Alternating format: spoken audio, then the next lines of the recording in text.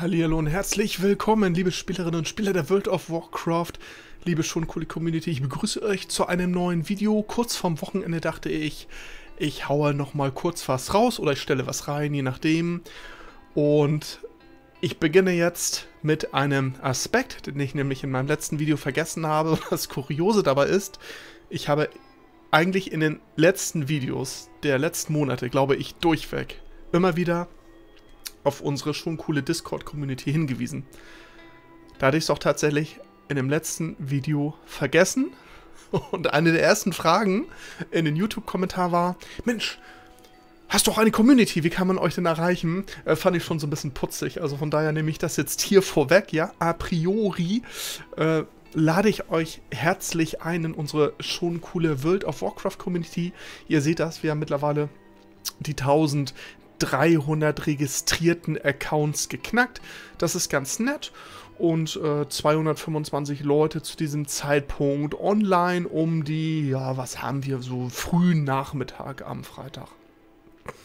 Wunderbar. Und damit sind wir tatsächlich also eine der größten, nach meiner Recherche mittlerweile, glaube ich, die zweitgrößte World of Warcraft Community deutschsprachig im Discord. Also nicht nur das Thema Gold an sich, speziell mit dem Fokus, da sind wir die größte tatsächlich, sondern auch schon was das Thema World of Warcraft allgemein angeht. Das heißt, das Thema World of Warcraft Gold verdienen, World of Warcraft als Wirtschaftssimulation, World of Warcraft Farmen und Multiboxing ist dann doch sehr interessant als Plattform als gemeinsamer Treffpunkt und den haben wir hier bereitgestellt. Bei uns chillen auch andere Streamer, der Exitus ist da, Moonboon ist da.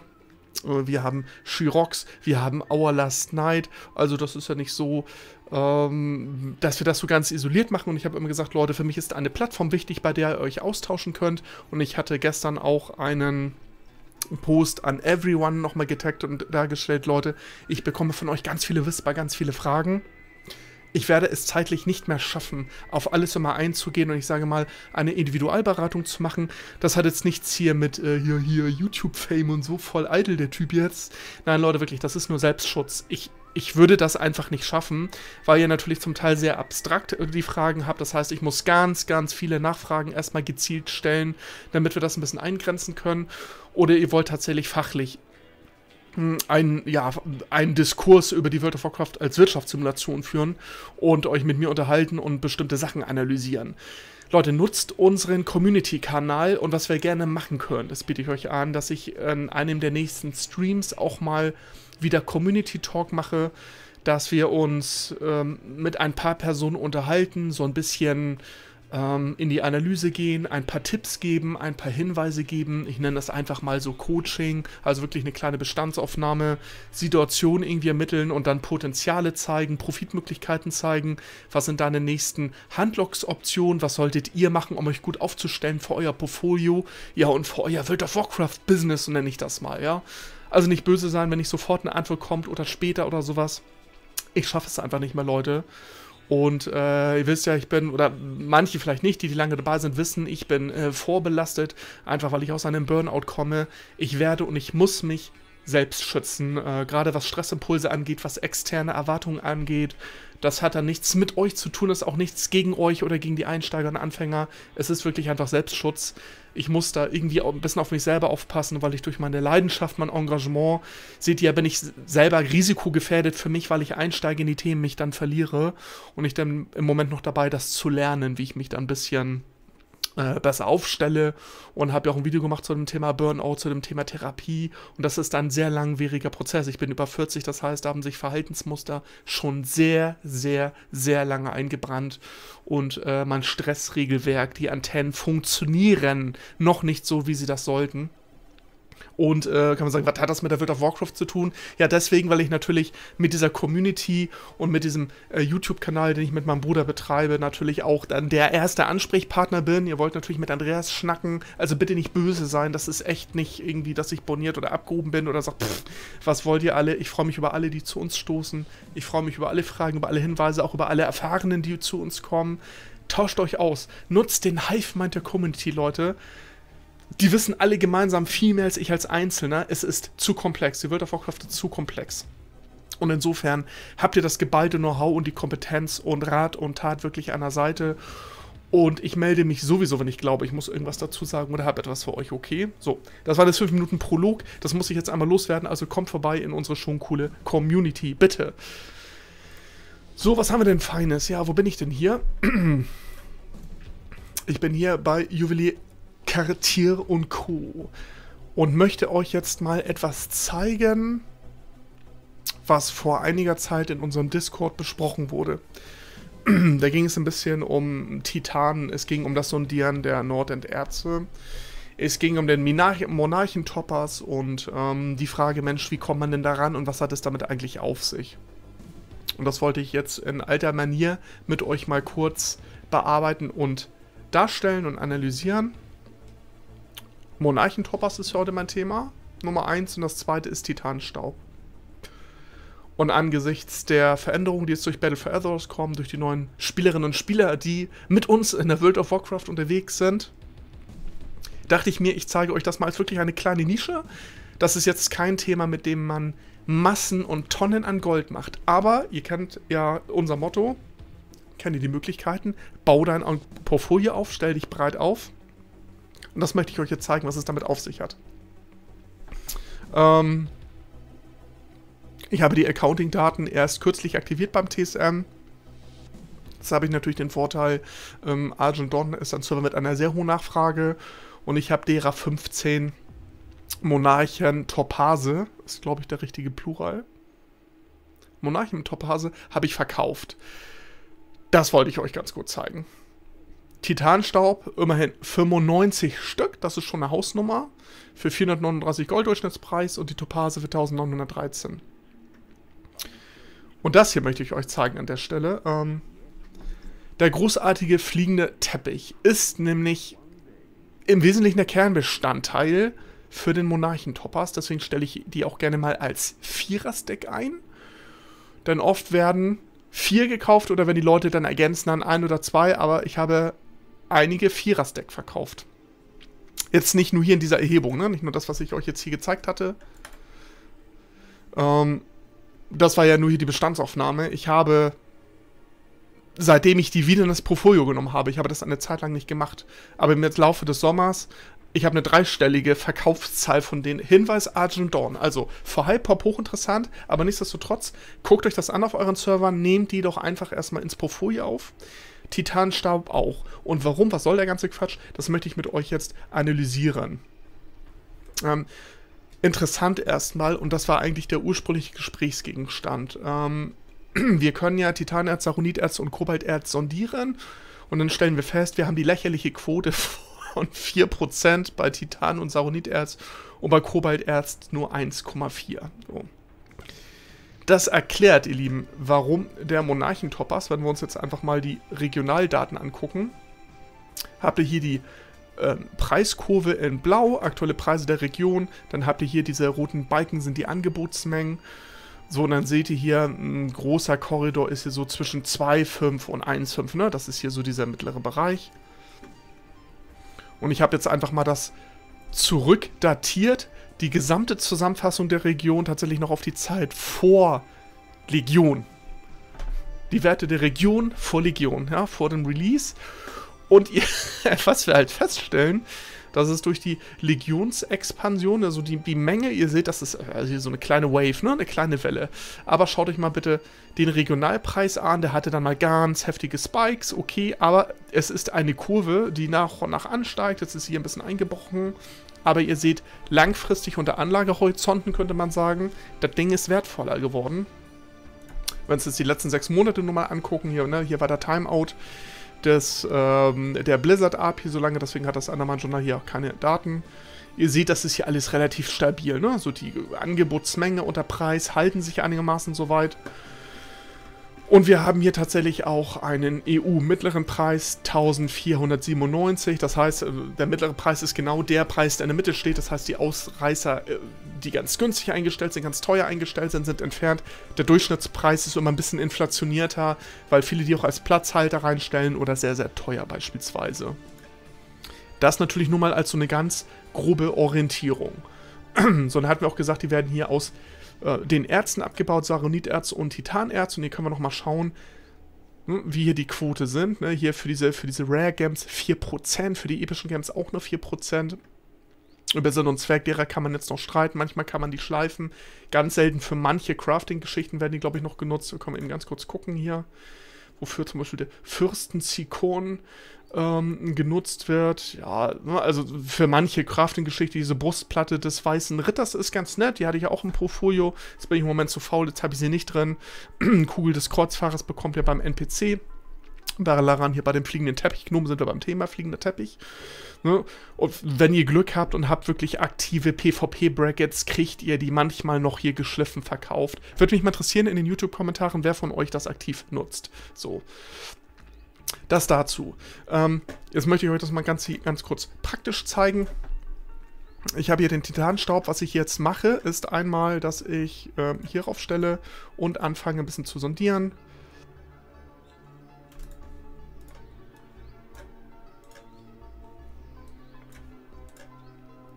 Ich mache das hier mal ein bisschen größer. Noch größer. Kann man das ein bisschen besser lesen einfach, ne? Also ich sondiere jetzt hier drei, vier Mal Kobalterz. So, da haben wir einen Blutstein.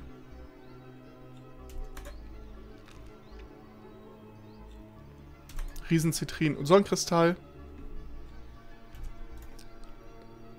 Chalcedon, so. Ne? Da ist jetzt nicht so viel mit Monarchentopaz. Wir nehmen jetzt mal Saroniterz, auch drei, vier Mal.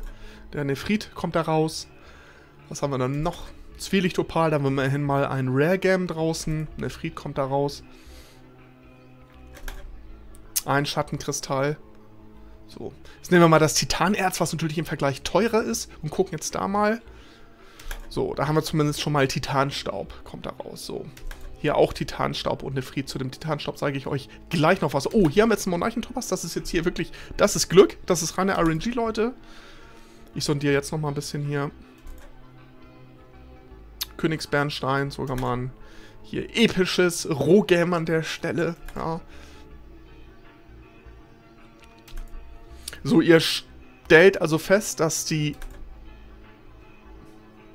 Rare Gems, nämlich diese Reihe hier, ist sehr übersichtlich. Also die rauszukriegen, ihr seht, ich habe hier so ein bisschen, ich hatte schon mal ein bisschen vorsondiert. Ähm, ich sage auch gleich, warum ich noch hier die Farben, warum die hier wesentlich häufiger vertre vertreten sind. Darauf komme ich nämlich jetzt gleich als nächstes, denn das ist jetzt der Anker gewesen, der thematische Anker. Es ging darum, dass ich im Discord gesagt hatte, Leute, na, es gibt ja noch andere Möglichkeiten, ähm, an den Monarchen-Toppers zu kommen. So, und viele haben das schlichtweg nicht auf dem Radar und als ich gefragt hätte im Discord, wusste es niemand. Keiner von euch, in Klammern die, die anwesend waren, mit Sicherheit wissen das welche von euch, aber das war tatsächlich nur mal so dieser klassische spontane Test. Sag mal, Leute, wie sieht's denn aus? Habt ihr das parat? So, und was nämlich jetzt interessant ist, very interesting, ähm, seht ihr Monarchentoppers enthalten in. So, und da stolpert man erstmal gar nicht so rüber. Ja, das lassen wir jetzt alles mal weg, die Titanschießkassette, blablablub. Wir haben aber das eisige Prisma. Und das ist jetzt sehr interessant, denn das ist die Geschichte, mit der habe ich das genutzt. Ich wurde nämlich angeschrieben, gesagt, Andreas, wieso kannst du, hast du Dutzende von den Dingern schon verkauft? Weil ich sagte, also Monarchentoppers verkaufe ich laufend und regelmäßig und viel. Ja, wo kriegst du denn alle her? Natürlich kann man die durch die Erze abbauen und Tonnen an Sendierung vornehmen. Aber man kann durch die Steine, die man über hat, und das möchte ich euch jetzt zeigen. Das eisige Prisma herstellen, ihr Lieben. So, das kriege ich jetzt auch kein zweites Mal hin. Wenn ich das mache, sagt er, ihr habt bereits zu viele ähm, Exemplare des Gegenstands. Ja, dann kann man so ein bisschen Breakdance hier machen, so, hier ein bisschen Daft Punk hier. So. Nachdem wir dieses eisige Prisma hergestellt haben, durch die gefrorene Kugel, ein Schalzedorn, der Fried und Schattenkristall, deswegen stellt ihr fest, habe ich hier diese Farben ein bisschen häufiger, weil ich die auch gekauft hatte, nämlich immer, wenn die wirklich für einen Apple und ein Ei im Auktionshaus standen. So, das öffne ich jetzt einfach mal. Und da kam ein Monarchentopaz raus. Jetzt auch wieder Glück, ja. Also das ist jetzt wirklich Glück für das Video. Ich stelle jetzt nochmal ein paar von denen her.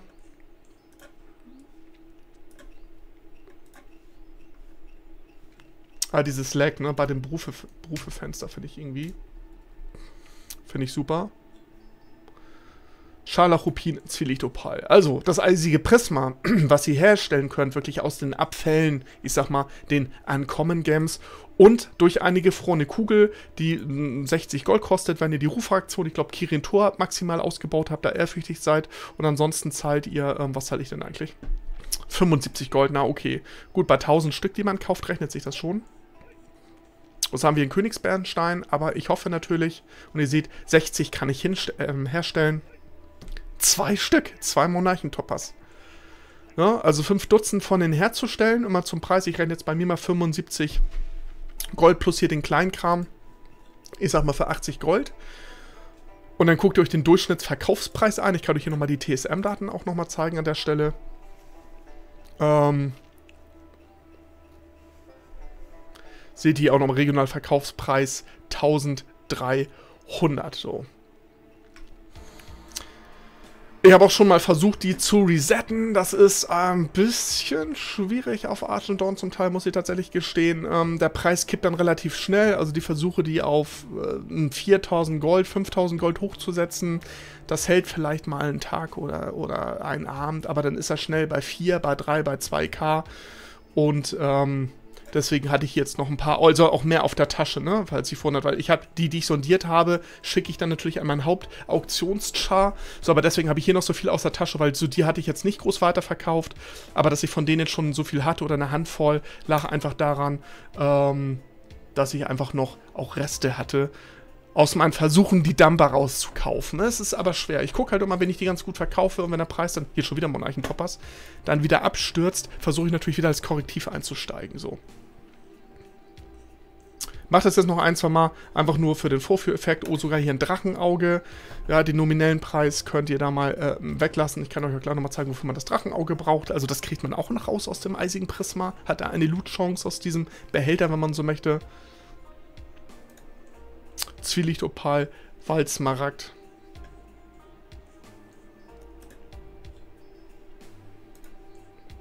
Himmelssaphir. Dann haben wir jetzt, glaube ich, 10 oder 11 Stück sindiert. Kann das sein? Äh, Quatsch hergestellt. So, okay. Also das zu dem Prinzip, ne? Aber wenn ich hiervon tatsächlich sehr viel habe und am Auktionshaus, ähm, seht ihr, ein paar hatte ich hier eingekauft von denen auch, ne? Hier 30, 13, da habe ich 36 gekauft.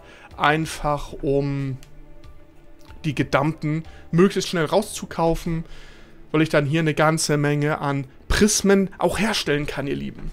So, ne? Also den Monarchen-Toppers und das hatte ich noch vergessen zu zeigen. Ähm, mir ist wieder so super warm, Leute, ne? das ist echt unglaublich.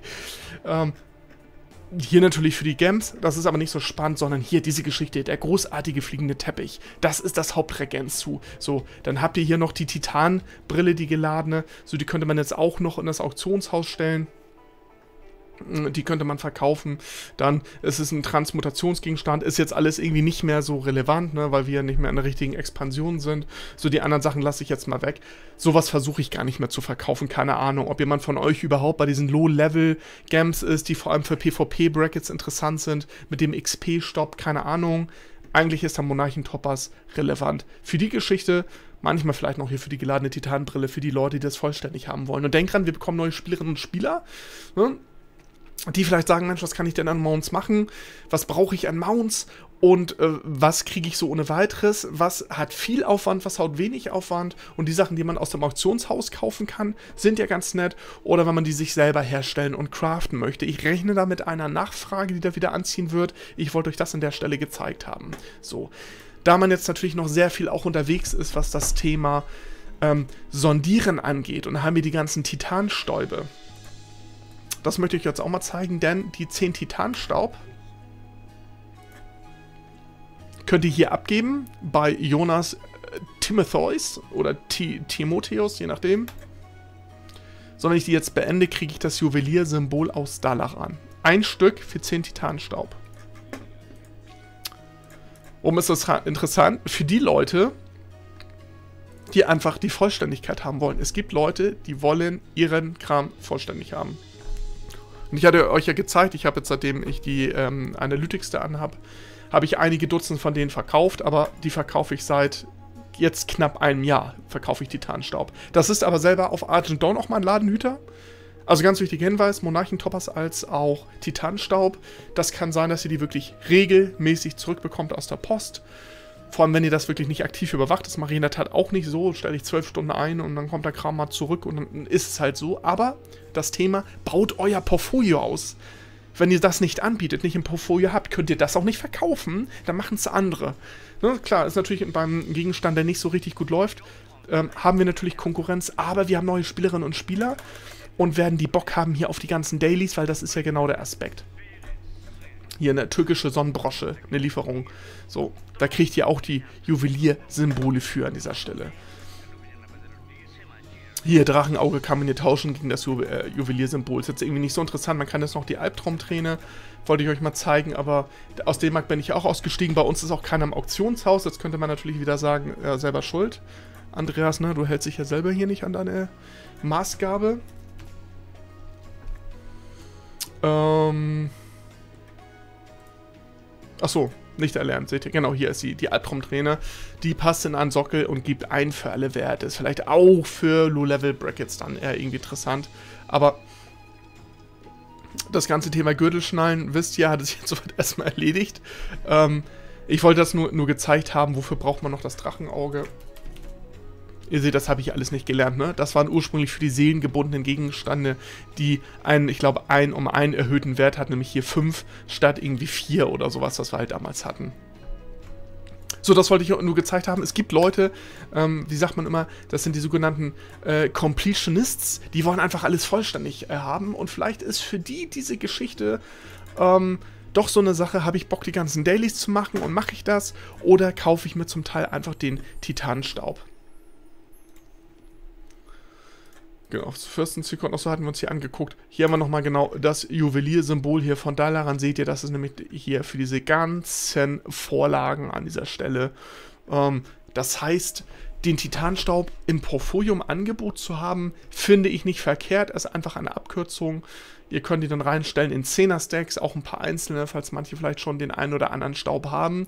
Aber das war für mich jetzt aus der Not ähm, die Tugend, weil ich so, so so oder so ganz viel habe an dieser Stelle ähm, als Abfallprodukt aus den Sondierungsprozessen, möchte ich das natürlich noch monetarisieren und zu Gold machen und packe das ins Auktionshaus. Ja, also zusammengefasst, ihr könnt die drei Ärzte sondieren.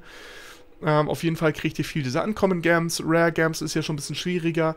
Guckt euch hier die Preise an. Das haben wir der Fürstenzykon, gut 102 Gold, 128 Gold. Zumindest bei mir. Regional seht ihr, schwankt das immer sehr. Da ist dann der Königsbärstand zum Teil sehr teuer.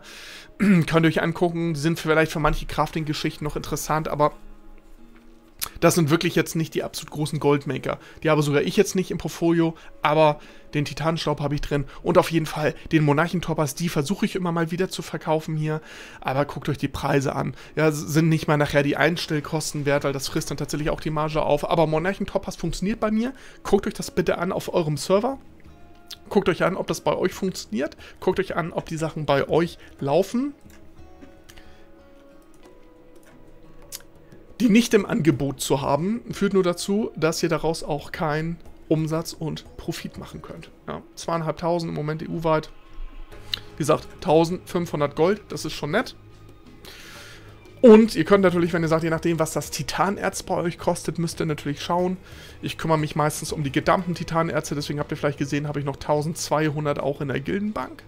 Aber man kann letztendlich durch den Nephrit und den Schattenkristall und den Chalcedon oder Chalcedon bei Dumpingpreisen einfach dafür sorgen, dass die in eure Taschen verschwinden und durch die Zwölfnahme der gefrorenen Kugel stellt doch mal ein paar Prismen her und dann guckt ihr, ob ihr dadurch auch Monarchentoppers generieren könnt. Oder ihr sagt, ihr habt einfach Bock, ihr habt eine ganze Menge vielleicht noch Saroniterz, ihr habt noch Titanerz, vielleicht werdet ihr auch das Titanerz nicht los, das habe ich auch im Auktionshaus, das geht fast gar nicht, also habe ich überhaupt keine guten Erfolge mit, dass ich das tatsächlich jetzt fürs Sondieren genutzt habe und entsprechend hier meine Gegenstände bekomme. Also das als Hinweis jetzt zum Wochenende einfach nochmal etwas sehr, sehr Nischiges, etwas ganz Spezielles. Ja, damit machst du jetzt nicht die Massenumsätze, damit macht ihr nicht massenhaft Gold. Alleine kenne die Möglichkeiten. Ich wollte euch das vorstellen, ich wollte, dass ihr das auf dem Radar habt. Ich möchte, dass ihr wisst, die World of Warcraft bekommt ganz viele neue Mitspielerinnen, ganz viele neue Spieler. Und die gehen vielleicht die ganzen alten Berufsbrackets durch und sagen, oh, das will ich haben und das haben und das Rezept. Es gibt einfach diese Freaks. Und das kann eine ganz, ganz, ganz kleine Gruppe sein, aber dieses Segment nicht zu bedienen, sind potenziell entgangene Umsätze. Und ihr wisst ja, wie ich dazu stehe, ne? Also, ich werde das kontrollieren. ob ihr fleißig dabei seid. Gebt mir bitte gerne euer Feedback. Habt ihr Monarchen-Toppers im Angebot? Habt ihr Titanstaub im Angebot? Kennt ihr die Prozedur, die Sondierungsprozedur und auch das eisige Prisma? Habt ihr das denn auf dem Radar gehabt? Würde mich mal interessieren. Und dann bin ich quasi, ich gucke mal. Das habe ich euch gezeigt. Die Screenshots habe ich euch gezeigt. Ja, sind wir für heute durch, Leute, würde ich sagen. Dann wünsche ich euch ein fantastisches Wochenende. Besucht uns in unserer schon coolen Discord-Community. Schnackt mit uns und äh, ich freue mich sehr über euer Feedback. Und wir hören und sehen uns, ähm, ja, in der langsam, in den letzten Tagen der Legion. Ja? Battle for Azeroth steht vor der Tür. Wir sind im Battle for Azeroth Hype. In diesem Sinne, Leute. Ja, sage ich Tschüss. Das war Andreas von Schon Cool. Schon cool, dass ihr da wart. Schon cool, dass ihr wiederkommt, ihr Lieben. Wir sehen uns ein tolles Wochenende, sonnige Tage und ich ziehe mir jetzt gleich Socken an. Mir ist richtig kalt, ihr Lieben. Bis dann. Tschüss.